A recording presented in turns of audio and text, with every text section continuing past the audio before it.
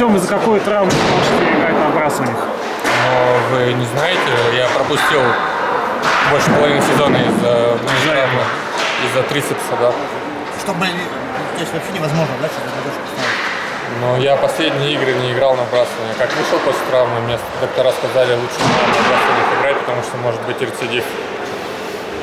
Новая трава не беспокоит. Нет, все хорошо. Да. Ну, я пару раз играл, но он начинает болеть. Вот. Доктора говорят, лучше не надо, чтобы опять не пропускать 2-3 месяца.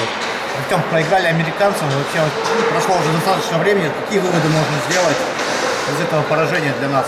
И сделали ли вы? Ну, конечно, мы сделали выводы, потому что ну, надо играть в свой хоккей агрессивно, как мы умеем, использовать наши сильные стороны, нападение, играть в зоне постоянно. Вот, надо вот это использовать.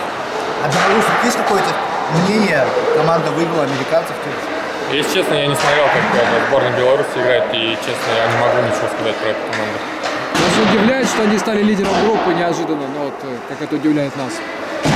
Беларусь имею в виду.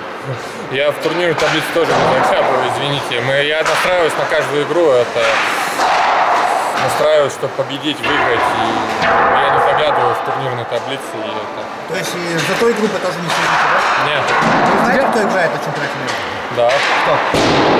Коллеги, спасибо. Спасибо. Все, Завтра расскажем. все топовые команды.